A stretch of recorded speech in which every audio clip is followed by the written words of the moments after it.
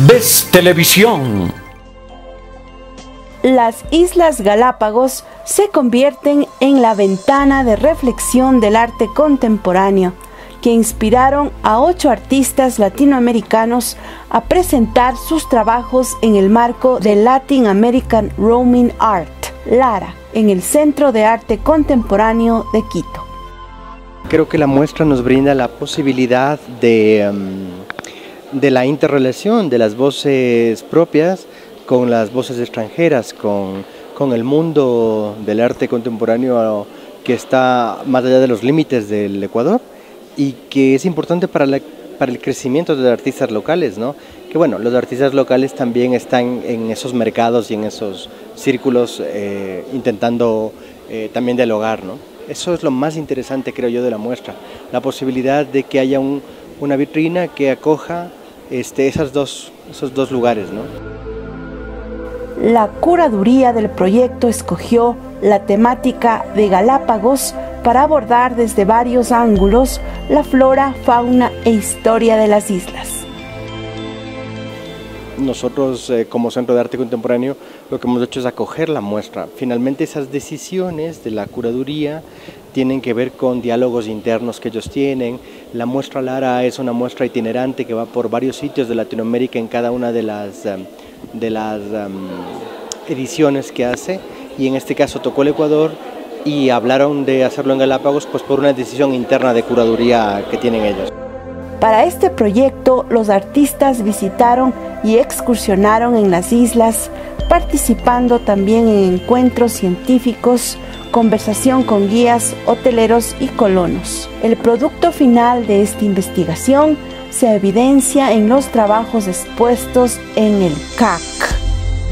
Una reflexión de artistas que mm, se dejaron impactar por uh, las islas, pero no solamente por la geografía o la naturaleza, sino también sobre las relaciones mm, mm, sociales, antropológicas que tienen las islas. así que eso es lo que la gente puede ver. Son ocho artistas, entre ellos tres son ecuatorianos y, y cada uno de ellos ha hecho una producción a partir de la residencia.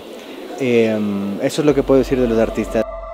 Lara nació hace cuatro años con el financiamiento de la corporación Asia City Trust, con la idea de crear y configurar una visión amplia sobre lugares poco tratados por el arte contemporáneo en Latinoamérica. Que uno del título de una de estas piezas es El mundo es está patas arriba como, como una tortuga dada la vuelta. Eh, la tercera obra se llama No recojas a este hombre y también se refiere a una, una historia real de las Islas Galápagos del siglo XIX. Hubo un eh, tirano, Cobos, que eh, fundó la Hacienda del Progreso en la isla de San Cristóbal y se convirtió en, para castigar, era, era, el que tenía el absoluto control de la gente, que eran presos y criminales que venían de Guayaquil y que tenía además el control total de la entrada y salida de cosas de la isla, del agua, de la comida y de absolutamente todo lo demás. Y este tirano, para castigar a sus disidentes, eh, los cogía y los dejaba en otras islas abandonadas sin agua y sin alimento, pero además dejaba letreros en toda la isla. Eh, advirtiendo a los otros, a los otros eh, barcos, a los barcos que pasaban por ahí, que decían, no recojas a este hombre porque es 20 veces un criminal.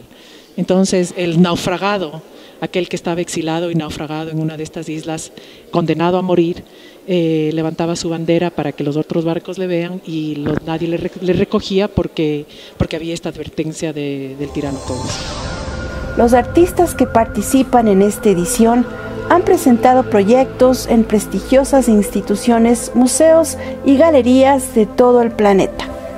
De Adrián Balseca, eh, la obra se llama Proyecto para un retrato, el origen de las especies introducidas, y la obra está hecha a partir de un árbol de cedrela, que es una especie de maderable introducida en las Islas Galápagos, a partir de la cual un artesano eh, que vive en las, en las Islas Galápagos, un colono, Segundo Ruiz, elaboró una autorrepresentación eh, de su rostro en esta madera, que la pueden ver en, como una pieza eh, escultórica.